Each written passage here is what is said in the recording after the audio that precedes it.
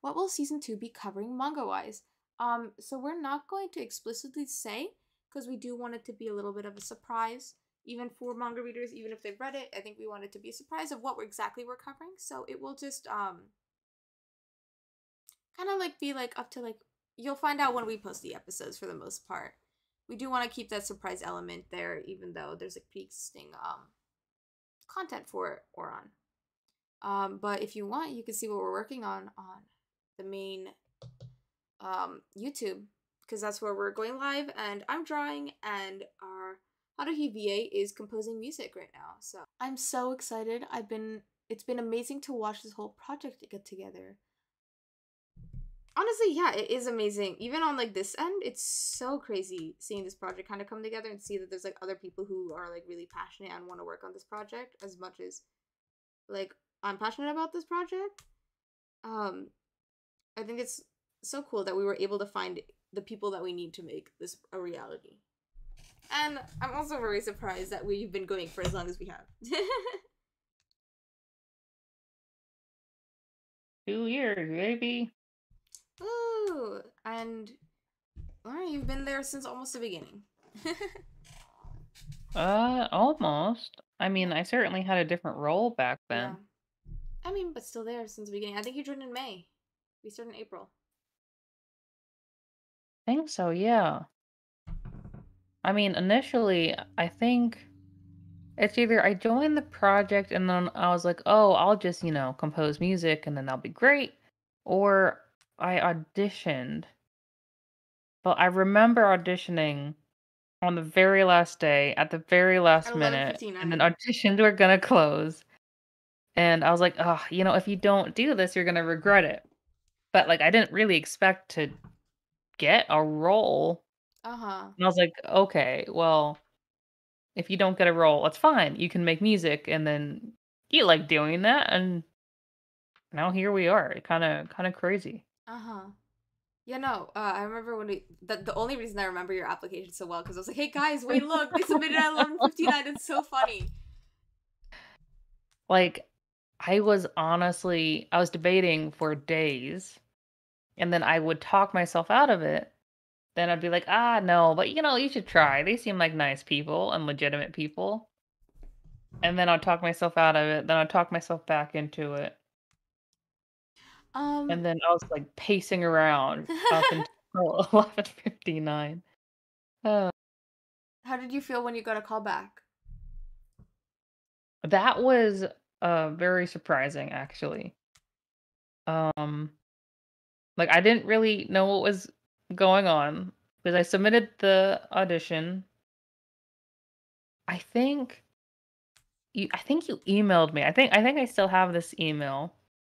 And I was like, "Hey, we want to schedule a callback." And I was like, "Oh my gosh, I can't believe this is happening."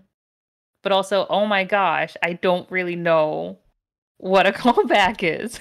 I was like, "What are they going to have me do?" You were all very nice though. And I did not have to be as nervous as I was, but I was very I was very nervous. Excited and nervous. Honestly, uh, I felt like I was like, okay, whenever the callbacks were like, okay, we need to be as least intimidating as possible because we were like, oh, like the worst, the last thing we want to do is scare away these people. I remember, I think a lot of people were in my callback. I think it was a normal amount of people, but for me, I was like, oh, this feels like a lot of people. Yeah, it's probably like four people. Because like after that, we would have you guys leave. I think like we did like a multiple Haruhi callbacks that day.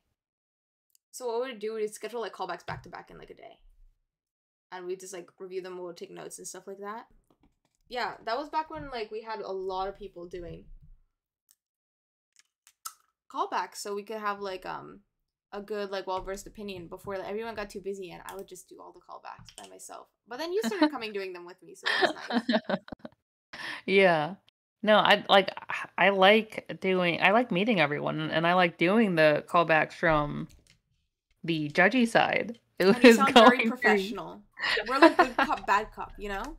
Except it's like I'm Tamaki and you're Kyoya, you know? So like, oh my god, you sound oh great. And you're like, can you try doing that with like a different like pitch with like the the different inflection of your voice in your throat when you say the P? And I'm like, oh my god, yeah, like that totally makes sense. Well, I was like, I th- I'm pretty sure that's what happened in my callback. Like, we read through the lines. I think it was something about Music Room 3 and walking through the halls. And then there, there's another one about mom, of course. And then there's another one probably directed at Tamaki, if we're being real. And then I, I, I think I had to do the lines like multiple times Oh, yeah. in the callback. We definitely um at least for me like my my only directions would be like I would have people do it in a bunch of different emotions. That's kind of how I gauge if we could we thought they were a good fit because um we were like okay well if they can take my stage directions for me who like doesn't really know much then they're gonna be fine right so it would kind of just be like oh like can you do this? Like even if they sounded amazing already we'd be like can you do this? But can you make this last line more excited? Or like can you like make this more dynamic by like changing the emotion halfway through? And stuff like that. And that was not even to like see if like they sounded like the character like that was a bonus but it was also see if they could take direction like really well and it wouldn't have to be done multiple times. That was the whole point of that exercise. Well, I hope I can take direction. Ah, too late now, suckers. if we lose you we lose your composing and your audio engineering well, you have episode one put together. no i would not give you up you're stuck with me till the end now Ah,